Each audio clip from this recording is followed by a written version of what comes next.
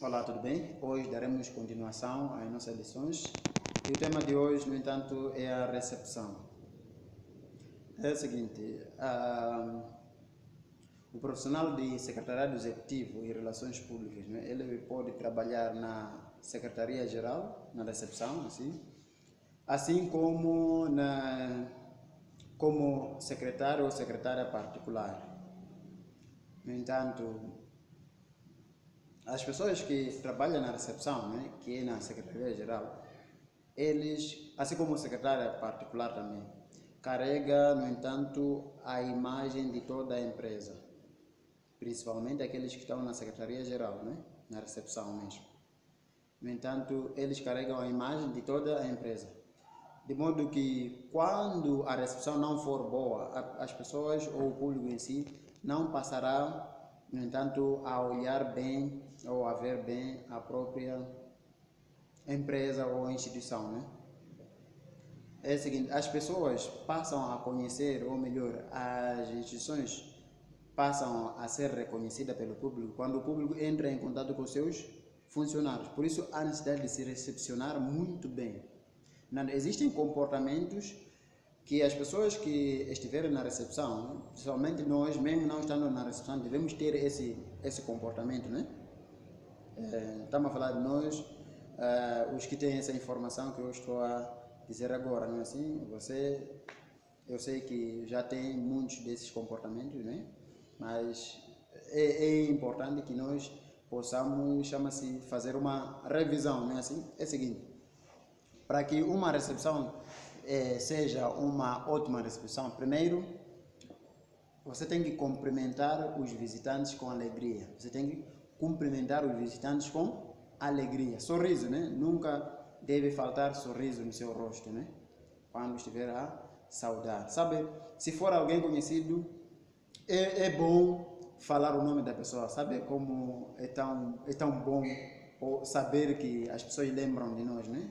E aí você já imaginou você ir para instituição e outra vez quando você for para lá as pessoas lembrarem de seu nome, isso é muito bom, é muito bom mesmo ouvir. Portanto, se você lembra do nome do, do visitante, é bom saudar e falar o nome, o nome da pessoa, né? Depois, você tem que olhar para a pessoa, porque a expressão dos olhos completam a comunicação, né? Você tem que olhar para o visitante, né? Então, você nunca pode fazer perguntas de ordem pessoal, né? coisas pessoais, né?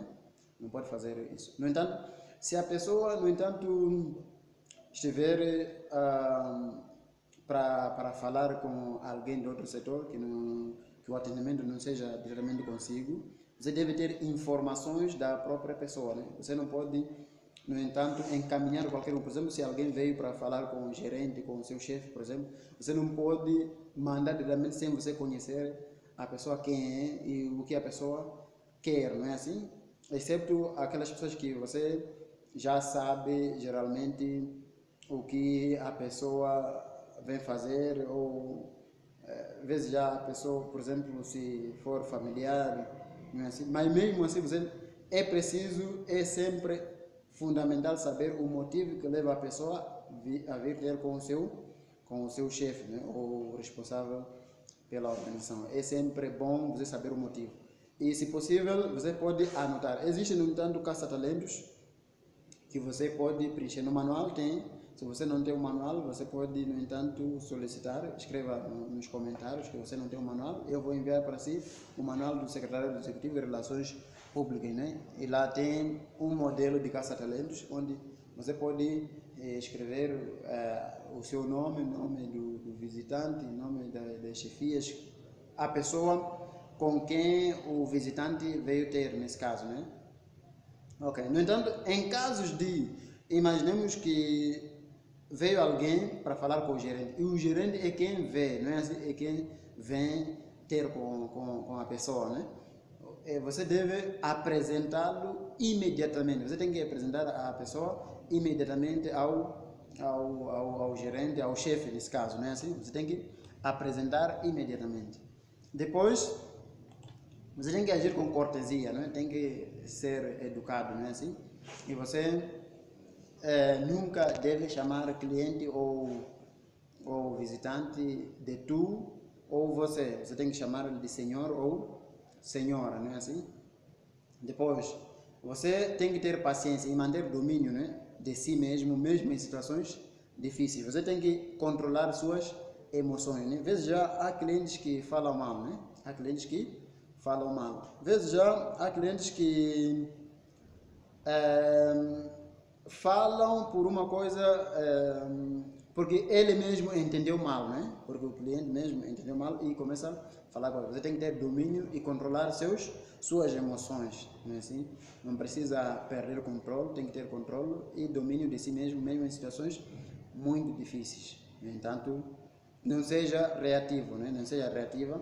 Uma pessoa reativa é aquela que quando alguém faz alguma coisa, ela reage, né? Então, as pessoas reativas são fáceis de serem manipuladas, né? Não seja reativo, né? Se você quer saber mais sobre isso, como não ser reativo ou o que é isso de ser reativo, você vai escrever nos comentários, não é assim? É, porque não é tão bom ser uma pessoa reativa, uma pessoa reativa mesmo é fácil de ser manipulada, porque as pessoas já sabem como é que a pessoa irá agir em situações difíceis, bom, em boas ou más situações. Ok. No entanto, você tem que usar filtragem, tem que usar filtragem em, em, em, em visitas, não é assim? Como assim filtragem? É assim, nem todas as pessoas devem falar ou podem falar com o gerente ou com o seu chefe, nem todas as pessoas. Existem pessoas que podem ser atendidas consigo mesmo, existem pessoas que são atendidas em outros departamentos. Imaginemos só alguém, no entanto, estamos numa instituição, né? tem departamento de recursos humanos, tem, tem DAF, né? setor de finanças, né? tem o, o diretor, não é assim? E alguém veio falar com o diretor para algum assunto que tem a ver com a área de recursos humanos. Nós podemos impedir ele de falar com o chefe, falar e ter nos recursos humanos. Estamos a falar, por exemplo, de atualização de dados, né? Não precisa ir falar com com o diretor para atualizar seus dados. Tem que ir diretamente para o setor onde atualiza-se os dados. Então você tem que usar filtragem, né? Fazer isso em visitas, né? Ok.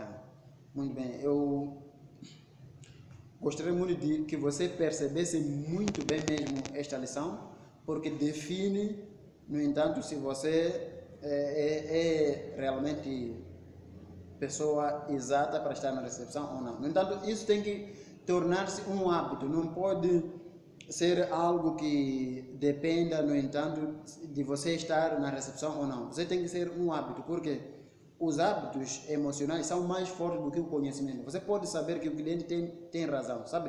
O cliente sempre tem razão. Você pode saber que o cliente tem razão, mas nunca dá razão. Isso já aconteceu várias vezes.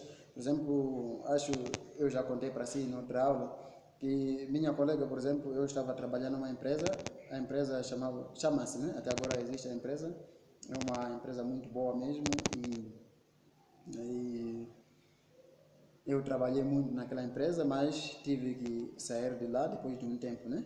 Depois de um tempo, mas não porque a empresa não era boa, a empresa era boa e ainda é muito boa, chama-se eh, Nova Era eh, Multiservice, né? Está na, na província de Sofala, está no Dondo, né, essa empresa.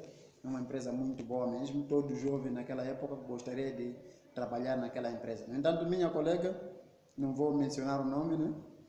Mas ele, o, que, o que aconteceu? Ela estava a discutir com o cliente. Nós aprendemos junto que o cliente sempre tem razão. Né? Nós trabalhamos na recepção, né? trabalhávamos na recepção. No entanto, ela discutiu com o cliente, discutiu com o cliente. Depois de acabar aquela discussão, o cliente já foi. Eu chamei a colega para um, a parte assim, na esquina, né? Falei para ela de que, colega, cliente sempre tem razão. Sabe o que ela disse? Ela disse, o cliente, eu sei que o cliente tem razão, mas esse cliente piorou. Yeah.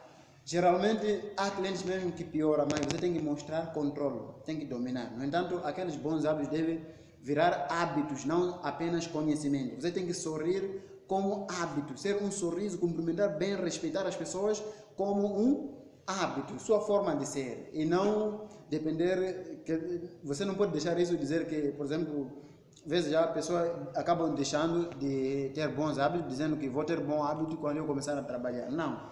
você deve trabalhar quando já tem bons hábitos. Então, quais são atitudes proibidas quando você estiver na recepção? Quando você estiver a recepcionar, não deve ser alguém com comportamento temperamental. Ficar nervoso enquanto ninguém te provocou. Quer dizer, você ficar chateado com alguém que não te provocou, né? Assim, vezes alguém disse alguma coisa e você responde, chama-se, é meu dialeto chama-se magoando, né? É, por exemplo, vou dar um exemplo, né? Dizer, é, é, por exemplo, alguém chega e diz para si,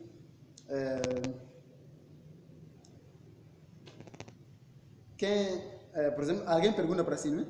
Quem fez isto? Você diz, você me viu? Não é assim?